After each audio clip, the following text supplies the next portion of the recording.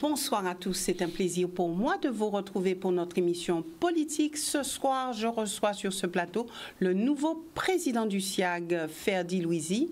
Ferdi Louisi, bonsoir et merci d'être là puisque vous venez juste euh, de sortir de euh, cette réunion euh, du SIAG où vous avez été élu, je le rappelle, à l'unanimité. Alors, est-ce pour vous une bonne surprise ou est-ce qu'on peut dire que ça a été un coup de poker? D'abord, bonsoir, Madame Boissé, mais bonsoir aussi à l'ensemble des téléspectateurs. Euh, c'est une belle surprise, c'est une bonne surprise, et puis euh, ce n'est pas un coup de poker, c'est vraiment la volonté qui a été manifestée euh, ce soir, puisque vous l'avez bien dit, je, sors de l'élection du SIAG, la volonté qui a été manifestée par les, élus, les 22 élus du SIAG, de pouvoir construire quelque chose et de donner un message clair à, à la population. Donc on a fait ce qu'on appelle une bonne symbiose et j'ai été élu à l'unanimité. Alors, je, vous avez été le seul candidat élu à l'unanimité. Est-ce que euh, vous ne vous êtes pas dit, s'il n'y a pas d'autres candidats, c'est que, bon, les choses ne sont pas si simples que ça et que personne ne voulait de ce bébé SIAG? Les choses ne sont pas faciles pour le SIAG puisque c'est d'actualité. Euh, mais je crois que les élus voulaient montrer et donner un message à la population guadeloupéenne en disant que nous sommes déterminés notamment euh, les trois présidents euh, des communautés d'agglomération qui, qui, constituent le SIAG, à savoir Guy Losbar, Cédric Cornet et Jean Bardet, donner un message clair à la population pour montrer que euh, nous sommes en responsabilité, qu'il y a une nouvelle gouvernance qui est mise en place et qu'il nous appartiendra de faire en sorte qu'il y ait une continuité, qu'il y ait de l'eau dans les robinets des Guadeloupéens, c'est ça le plus important, mais aussi que le, le, ce n'est pas un bateau qu'on coule. C'est vraiment un bateau qu'il faudra amener à bon port. Et c'est le travail qu'ils m'ont demandé de faire euh, pendant les, semaines à venir. Alors justement, euh, la mort annoncée du SIAG euh, a mobilisé plus d'un. vous êtes expert comptable, vous connaissez très bien la situation du SIAG, vous êtes aussi à l'occasion commissaire au compte, et donc vous êtes vraiment au fait des choses, au fait des chiffres. Et on se dit, euh, euh, est-ce que euh, vous vous rendez compte de, la situation? Est-ce que là où d'autres ont échoué, je veux parler de Laurent Bernier et puis de Jean-Claude Pioche, est-ce qu'on peut dire que vous allez, vous, réussir? Alors, les choses sont bien claires. Il est évident que le processus qui consiste à entamer la dissolution du SAG est déjà entamé par l'État. Euh, il nous appartient de conduire euh, le SAG à bon port. Il y a du personnel. En fait, à la dissolution, vraiment. C'est-à-dire que euh, à cette entité-là dont parlait tantôt Cédric Cornet. Oui, c'est ça. C'est ça. Qui, tu devrais nous conduire demain à constituer avec les communautés d'agglo un syndicat unique.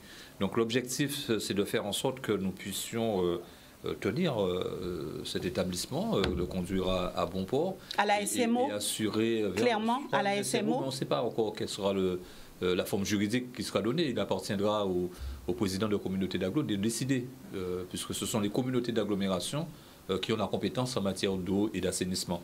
Donc il leur appartiendra de décider de la forme juridique qu'ils donneront à ce syndicat unique que nous voulons. Mais euh, ce qui est important, c'est que on connaît l'importance du SIAG qui, alimente à peu près 80% euh, de la population guadeloupéenne, sinon plus. Euh, on, sait l'importance et donc il ne peut pas y avoir de rupture. c'est pas parce que demain on est amené à changer de gouvernance qu'il doit y avoir une rupture de la distribution d'eau, une rupture de la qualité. il fallait aussi rassurer le personnel en leur disant que oui, que ce soit les organisations syndicales ou les personnels qui ne sont pas syndiqués, dire euh, que le message est très clair. Nous sommes venus travailler pour faire en sorte que la transition euh, se passe le mieux possible. Et euh, ma responsabilité en tant que président avec le, conseil syndical et le, bureau qui a été élu, ben, c'est de faire en sorte que la gestion soit ben, remise à, sa place. Est-ce qu'on peut dire que vous avez quelque part été mandaté par l'État? Alors j'ai été mandaté par les élus, donc par les 21 élus qui composent ce conseil syndical et d'une manière générale par la population guadeloupéenne.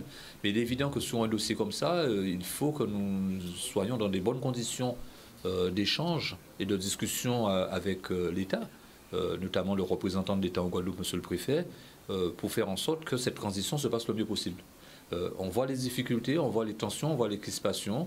donc l'objectif, c'est qu'il n'y ait pas de coupure d'eau, qu'il n'y ait pas de grève, et que nous puissions tous travailler ensemble autour d'un projet, amener le SIAG vers cette transition qui consiste à constituer sous l'ensemble du territoire guadeloupéen un syndicat unique qu'on parte de, de qu'on arrive à Grandbourg, à Terre de Bas, à Terre de Haut.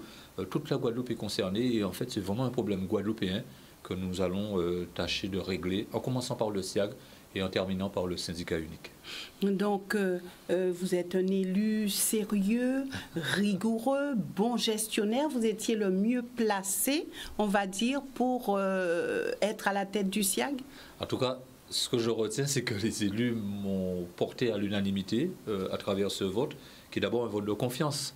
Et je tiens encore une peut, fois pardon, est-ce qu'on ne peut pas dire quand même que euh, c'est parce que les autres euh, ne voulaient pas, ils se disaient c'est peut-être un, dossier trop lourd. On ne peut pas parler comme ça lorsqu'on est en responsabilité et lorsqu'on connaît l'importance de l'eau en Guadeloupe.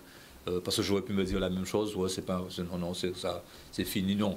Euh, je crois que nous sommes, euh, et les présidents de communauté d'aglo l'ont bien euh, stipulé, nous sommes en responsabilité. vous êtes en responsabilité du premier jour jusqu'au dernier jour. Et pour le moment, on n'a pas de dernier jour. Donc on ne connaît pas encore le, délai qui est accordé. Ce qui est important, c'est que nous puissions conduire, amener le SIAC dans cette phase, accompagner le SIAC dans cette phase de transition. et ce sera le même travail qu'il faudra que d'autres communautés d'agglomération qui ne sont pas dans le SIAC fassent pour aller ensemble vers ce syndicat unique que nous appelons de nos voeux sur le territoire guadeloupéen. Avec Cédric Cornet, vous formez un bon tandem puisqu'il est le premier vice-président. Oui, il est le premier vice-président, euh, mais euh, d'une manière générale, le travail va se faire en collectif euh, avec les 22 élus, mais aussi avec le président Bardaille, qui lui n'est pas membre du SIAG, du syndicat, et, qui préside une communauté d'agglo. Donc le CERG est représenté par trois communautés d'agglo. Et donc la volonté qui est manifestée par tout un chacun, c'est que nous puissions travailler ensemble du premier jusqu'au dernier. Hum.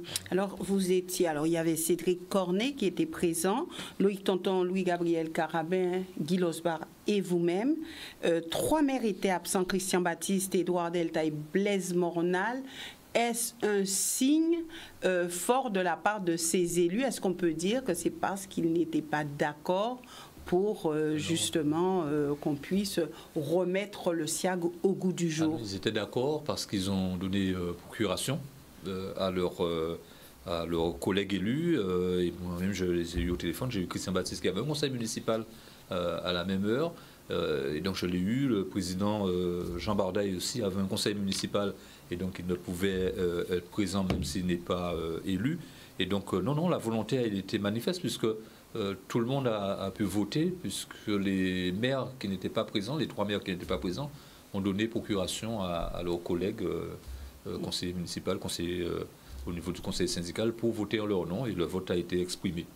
Hmm. Alors, est-ce que le plus difficile, selon vous, sera euh, de, de, faire rentrer hein, les, les, sous, comme on dit, dans les caisses du SIAG, surtout quand on sait qu'il y a euh, de grands hôteliers qui euh, ne sont pas forcément à jour de leur paiement? Est-ce que pour vous, ça sera une réelle difficulté?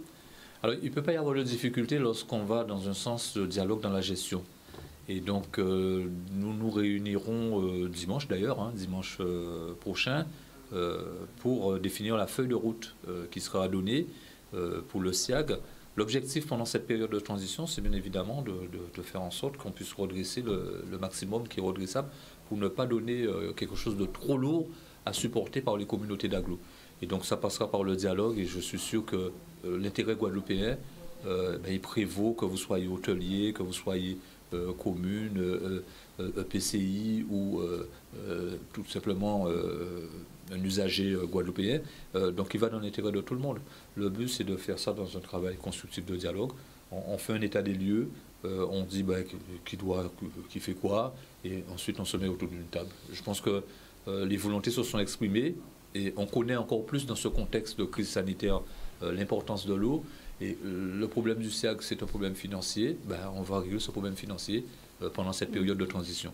Vous pensez pouvoir être équitable à ce niveau-là? On a toujours été équitable. À partir du moment où vous êtes un élu et que le la population vous porte en responsabilité, c'est pas parce qu'elle considère que vous avez le sens de l'équité, le sens de la justice également, et, que vous savez faire jouer la solidarité. Donc on aura ces arguments à faire valoir pour faire en sorte que les Guadeloupéens se mobilisent autour du sauvetage de l'eau en Guadeloupe. Le SIAC, ce n'est pas le seul problème d'eau en Guadeloupe, c'est toute la Guadeloupe qui est concernée. Euh, et l'outil SIAG qui existe en ce moment et qui connaît des difficultés, ben, il, faut, il faut le redresser, il faut le mettre, il faut lui enlever les genoux par terre euh, pour permettre à la Guadeloupe de s'en sortir. C'est vraiment euh, la volonté qui est affichée. Alors, je ne sais pas si ce sera pendant une semaine, si ce sera pendant deux mois, trois mois. tout va dépendre de, l'orientation qui sera prise avec, par le gouvernement. Donc, on aura dialogué avec l'État. Mais l'essentiel, c'est que pour nous, le SIAG, au moment où il y aura la transmission vers, vers une autre structure, que le SIAG ne soit pas genou à terre. D'accord. On peut dire que vous suivrez quelque part les directives de l'État. On ne suivra pas les directives de l'État, on va suivre les directives qui seront données par le conseil syndical.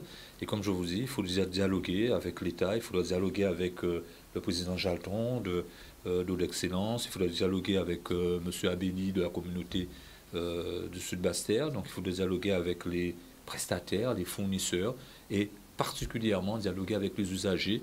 Et ce que j'ai dit euh, au personnel, c'est que ce travail il sera fait élu et personnel. Nous sommes ensemble pour pouvoir aller euh, justement rencontrer et échanger avec nos partenaires extérieurs. Hum. Alors, est-ce qu'on peut faire, dit Louisie, honnêtement dire que euh, cette nouvelle structure euh, ne sera pas gangréné par les pratiques justement qui ont fait que le SIAG s'est retrouvé dans cette difficulté? Est-ce qu'il y aura un changement de, de pratique? Puisque on se dit que les élus seront aussi euh, euh, en plein cœur de cette structure et on sait ce que ça a donné jadis. il y a véritablement une prise de conscience. Je crois que tout le monde est conscient qu'il y a eu des erreurs qui ont été faites et que maintenant il faut aller d'un pas nouveau. Euh, on a fait un changement de gouvernance. Vous avez vu euh, sous les dernières élections municipales qu'il y a eu un renouvellement aussi du personnel politique. Donc la population a déjà donné un message clair. Ben, ce message, nous allons le relayer au niveau du SIAG. Et, tirer les enseignements euh, du passé, certes, mais surtout ne pas aller sous le même chemin qui, nous a conduit vers ce, résultat désastreux. Ce qui est important, c'est que chacun prenne conscience qu'il a un rôle à jouer, que ce soit l'usager, que ce soit euh, le, personnel du SIAG, que ce soit les élus, que ce soit l'État également, nous avons tous un rôle à jouer et ce rôle, ben, euh, je, suis très confiant, très optimiste dans le sens que cette prise de conscience collective nous permettra de le jouer ensemble. Est-ce qu'on peut dire qu'au sein du SIAG, les élus feront don d'eux-mêmes et euh, qu'il y aura, que ça sera du bénévolat et qu'on ne parlera pas euh, d'aspect financier? Est-ce qu'on n'est peut-être pas arrivé à une époque où il faut que les élus fassent aussi euh, don d'eux-mêmes et, ah, pour avancer? Le don d'eux-mêmes, c'est d'avoir fini ce soir et de sortir de, du siècle et d'arriver sur votre studio. Le don de soi, c'est de pouvoir se réunir dès dimanche avec du personnel pour commencer à travailler parce que la semaine, elle va être courte euh, et le temps nous est compté. oui, il y a beaucoup de dons de soi-même. Euh, vous voyez, dans des conditions particulières comme celle-là, nous nous sommes réunis en présentiel, alors même que euh, la loi ne nous a pas permis de le faire en, distanciation par euh, des moyens numérisés. donc les élus font beaucoup de dons de soi, donc, et on continuera à faire ce travail-là. Et il ne faut pas voir les élus uniquement sur un aspect financier, non, il faut voir les élus comme un engagement qu'ils ont à travailler et qui empiète assez souvent sur leur vie privée, leur vie familiale. Et donc, oui, le don, euh, le don de soi, il est là, il est mm. vraiment là. Et euh, ce que j'ai vu cet après-midi, avec la mobilisation euh, des élus qui sont venus au SIAG et qui ont voté, on était nombreux, et on a fait le vote, bah, les 22 élus étaient présents. Donc, il n'y a pas de problème, ou, représentés à, trois procurations, quatre procurations près. Donc, vraiment, il y a un don de soi, et, il faut le reconnaître, que vous soyez maire, adjoint, conseiller municipal, les Guadeloupéens sont engagés parce qu'on leur a confié une responsabilité. Et c'est ce que j'ai vu ce soir avec euh, le vote unanime, mais c'est surtout la volonté que, les élus ont dit euh, que nous devons faire en sorte que les choses changent et les choses vont changer. Mm. Elles vont changer. Vous qui êtes un expert en la matière, que pensez-vous de euh, ces élus qui ont décidé de faire du bénévolat? C'est-à-dire, euh, par exemple, le Gosier et Cédric Cornet, on va partir aussi du côté de Marie-Galante avec Rambourg, des élus qui se disent aujourd'hui, euh, bon, il faut faire un geste parce que les temps sont difficiles, donc euh, pas d'indemnité, pas. Que pensez-vous de cela? Et tous les élus font du bénévolat, puisque vous savez que les élus n'ont pas un contrat de travail. Euh, lorsqu'ils sont en responsabilité au niveau des collectivités. Et, cette forme de bénévolat épouse une forme. Euh, l'indemnité de fonction, il faut, franchement parler sans langue de bois avec les Guadeloupéens, l'indemnité de fonction, ce n'est pas un salaire. Lorsque vous avez des élus qui, sont, travaillent 70 heures dans une semaine et qui touchent 800 euros, c'est pas un salaire, ça. Euh, d'accord Donc, non, non, les élus sont dans, dans un bénévolat. c'est de la même manière que si vous utilisez votre voiture pour des besoins professionnels, ben, on vous rembourse les frais.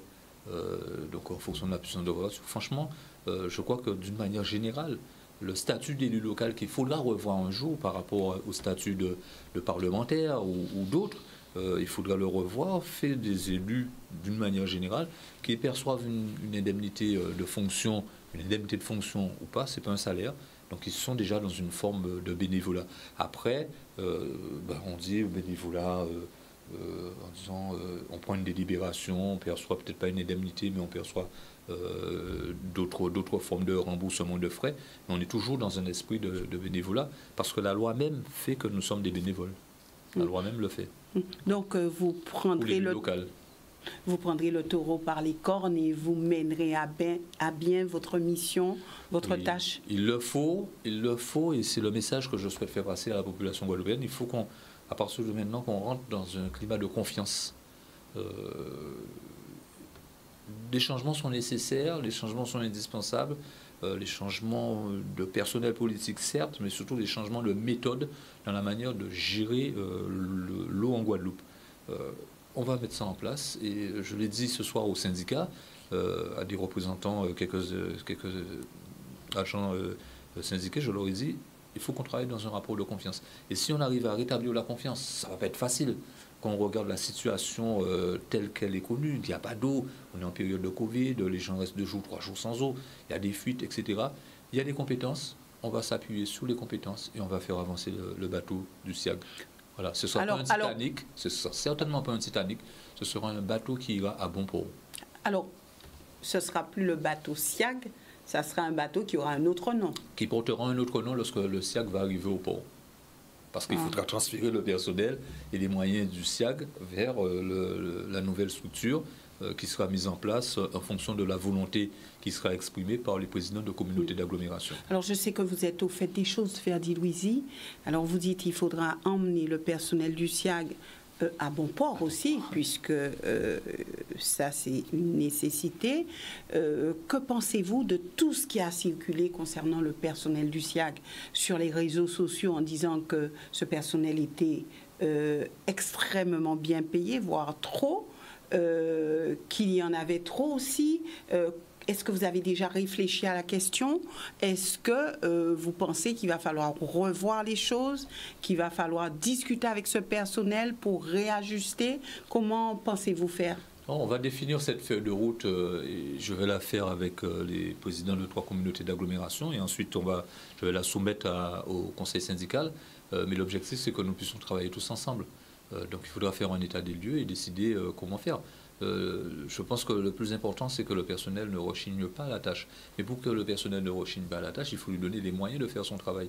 Il faut mettre un climat de confiance. C'est d'abord ça, le plus important. Euh, en général, c'est le salaire qui motive et qui stimule. le salaire motive et stimule tout le temps. On a déjà dénoncé euh, toute forme de salaire en Guadeloupe que vous touchez le SMIC ou que vous touchez euh, dix fois le SMIC, euh, on aura toujours quelqu'un qui va exprimer quelque chose. Ce qui est important à mon sens, c'est de reconnaître les compétences des agents du SIAG, euh, parce qu'après tout, il y a de l'eau encore en Guadeloupe, il y a du personnel qui quelquefois n'a pas les moyens de faire son travail. Donc ce sera notre rôle de faire en sorte que, et là je lance un appel aux, différents fournisseurs pour leur dire qu'on viendra aussi vous voir, pour que vous puissiez participer à cet effort de redressement, pour faire en sorte que le personnel puisse exprimer tous ses talents. Après, on verra euh, les différents statuts. Il y aura un travail à faire. Je crois que les organisations syndicales ont déjà commencé euh, à faire ce travail-là au niveau du SIAG. J'en prendrai connaissance euh, dès la semaine prochaine, puisque je n'étais pas dans la gouvernance directe du SIAG. Aujourd'hui, je suis en tant que président. Et donc, on, va les voir, on va discuter. Mais je ne vais pas me focaliser en disant c'est les salaires. Ce qui m'intéresse, c'est d'abord le travail qu'il y aura à faire, la distribution de l'eau dans les robinets, et partant de là, les statuts du personnel qui correspondent à un cadre défini. à partir du moment où le cadre est défini, il faut l'essentiel, c'est que les recettes rentrent dans le cercle pour pouvoir payer les frais du cercle. Pour l'heure, parce qu'il y, a des fois des structures privées qui touchent beaucoup plus que les, personnels des, des institutions publiques. Il est trop tôt pour vous de nous dire un petit peu la situation financière du SIAG La situation financière telle qu'elle est connue et qu'elle a été avancée jusqu'à maintenant, dans les médias, on, la connaît. mais ce que je veux vous proposer, c'est de revenir vous voir euh, une fois que je, prends, euh, je prendrai mes fonctions euh, d'ici lundi, pour justement donner toute la vérité sur la situation financière du SIAC. Mm. Mais au-delà de la vérité sur la situation financière du SIAC, c'est surtout de dire quelles sont les perspectives que nous donnons pour pouvoir ramener le SIAC dans, dans, une position financière correcte, notamment pour assurer le, le, paiement des salaires, pour assurer le paiement des, des prestataires, faire des moratoires, etc. et préparer justement le transfert du SIAC vers la nouvelle structure. C'est euh, que j'appelle la période de transition. D'accord. Est-ce qu'on peut dire que c'est un bon tremplin pour vous, Ferdi Louisi Un tremplin qui va vous mener vers les prochaines élections régionales? Le seul tremplin que je vois, c'est qu'il faut qu'on sorte la Guadeloupe de cette situation. Même pour vous personnellement, Yves Boisset, il faut qu'il y ait de l'eau dans votre robinet. Et je suppose que, comme tout Guadeloupéen, vous souffrez aussi quelquefois de ces coupures. Alors, le Pas quelquefois, très souvent. Très souvent Oui. D'accord. Vraiment désolé. Alors, moi, le tremplin que je souhaite avoir vers ça, c'est que nous puissions réussir ensemble cette mission vous en tant qu'usager, nous en tant qu'élus, le personnel et puis les autres partenaires que sont l'État et les autres collectivités. Vraiment, si, on réussit cela, ce sera le tremplin de la Guadeloupe. Ce ne sera pas mon tremplin, puisque vous savez que euh, chaque fois que je m'engage euh, en responsabilité, ce n'est pas pour satisfaire une ambition personnelle, mais c'est toujours pour contribuer à faire avancer les choses en Guadeloupe. Est-ce que ça voudrait dire quand même quelque part que euh, les prochaines élections régionales ne vous intéressent pas? Ce qui m'intéresse aujourd'hui, au moment où je vous parle, c'est de faire en sorte que le SIAG arrive à bon port pour le transfert euh, vers euh, la structure bah, unique. Pourquoi cette question, Ferdi Louisi Parce qu'on se dit, on se dit celui qui réussira ah, à, mener le SIAG, euh, on va dire, à cette structure unique, ça sera celui qui serait peut-être en pole position pour les prochaines élections régionales. Ah ben ça, c'est le peuple qui décidera. Parce que je pense que la population guadeloupéenne sait parfaitement que, à partir du moment où elle décide de mettre telle ou telle personne en responsabilité, c'est sous la base d'un programme, c'est sous la base peut-être aussi d'un de, historique d'action réalisée, peu importe, je ne sais pas. Franchement, je vous dis aujourd'hui, je suis préoccupé par une chose, c'est que nous soyons tous d'accord, tous les Guadeloupéens soient d'accord pour faire en sorte que le CERG arrive à bon port. Voilà. C'est le, message lead, le message que je veux faire passer. Pourquoi? Parce qu'il va falloir que chacun d'entre nous y mette quelque chose. On ne veut peut-être pas demander de tout mettre, mais que chacun y mette quelque chose pour que nous puissions franchir ce cap. C'est-à-dire sortir de cette situation, parce qu'on ne peut pas laisser le SIAG euh, couler, comme on dit, euh, sans avoir sauvé la cargaison. Donc on va sauver la cargaison. Enfin, il est peut-être déjà bien au fond de l'eau, non? J'ai vu aujourd'hui euh, des élus décider du personnel pour une partie décidée. Euh, je sais que l'État attend beaucoup de nous. Euh, L'État attend surtout que le SIAG soit n'existe plus et qu'il y ait une structure unique. L'État n'attend que ça. Nous sommes tous d'accord, puisque le SIAG même est dans cette démarche-là. L'État attend une chose qui est très importante, c'est que les Guadeloupéens se mettent ensemble pour faire en sorte qu'on règle le problème de l'eau. Et si l'outil de demain, c'est la structure unique, ce sera la structure unique. Euh, si l'outil de demain, c'est de permettre au SIAC d'arriver à bon port avant la structure unique, ce sera l'arrivée à bon port du SIAC. Donc on a vraiment un travail important. Il faudrait qu'on fasse passer ce message pour dire aux Guadeloupéens que là, on est à une période charnière. Tout le monde sait que les clignotants sont allumés euh, pour, euh, par rapport à la situation du SIAG. Et la situation du SIAG, c'est un problème d'eau en Guadeloupe. C'est un problème d'eau en Guadeloupe. Le SIAG n'est pas dans le sud Bastère, et pourtant il y a des problèmes d'eau. Le SIAG n'est pas dans le nord Bastère et pourtant on rencontre des problèmes d'eau. Et donc vraiment, il faut qu'on se mette ensemble. Nous, euh, avec les trois communautés d'agglomération, euh, Grande Terre, euh, Riviera et nord Bastère, on va régler le problème du SIAG et nous allons travailler aussi avec nos autres collègues présidents de PCI et élus de PCI, que ce soit Cap Excellence ou Sud Bastère. Bien sûr aussi, on verra la communauté de Margalante pour faire en sorte que la Guadeloupe se construise et qu'on oublie une bonne fois pour toutes ces problèmes d'eau parce qu'on les aura réglés. Voilà, c'est vraiment euh, l'ambition que j'ai aujourd'hui en, venant sur votre plateau, c'est de faire en sorte que nous réussissions le pari de l'eau en Guadeloupe. Donc vous êtes en marche Je suis en marche pour réussir ce travail-là. Merci Ferdi Louisi d'être venu sur ce plateau juste après euh, cette rencontre. Merci aussi euh, à vous téléspectateurs de nous avoir suivis. Nous nous retrouvons lundi avec un autre invité. Ça sera pour une autre émission politique. Excellent week-end et excellente soirée à tous.